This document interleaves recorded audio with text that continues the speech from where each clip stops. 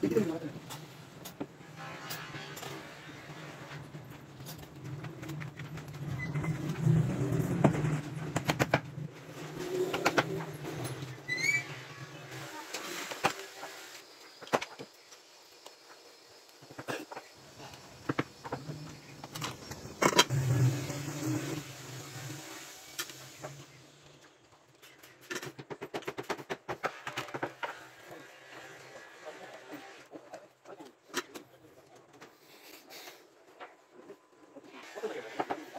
mucho.